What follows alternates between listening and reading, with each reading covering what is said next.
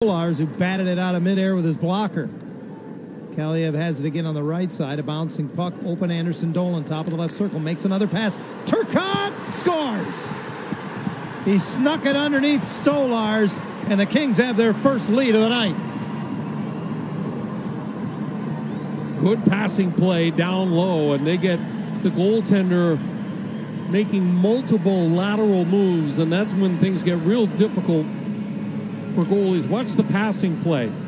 Quick pass through the seam right there, and then a one touch across. Stolarz actually got a good uh, piece of the initial bid by Turcotte, but it just kind of slides right through the wickets.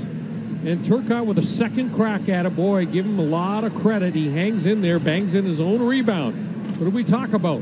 Rebound chances.